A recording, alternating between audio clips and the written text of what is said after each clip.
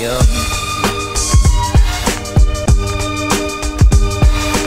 As long as I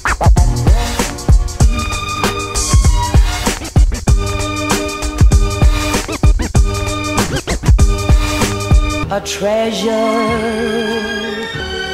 lent me from a distant obsession.